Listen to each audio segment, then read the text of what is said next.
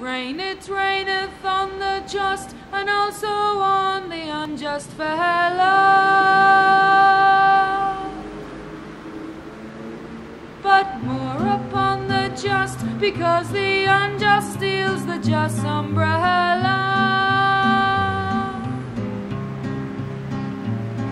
The justly man is thus condemned, attrition and a life of constant rain.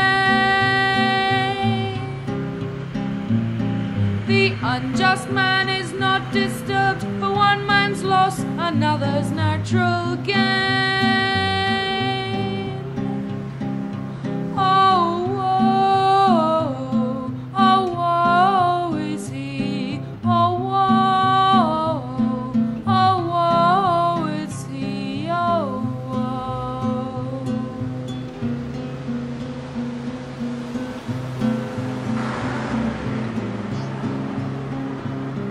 The justly man will thus erode, an unjust man the world will overrun.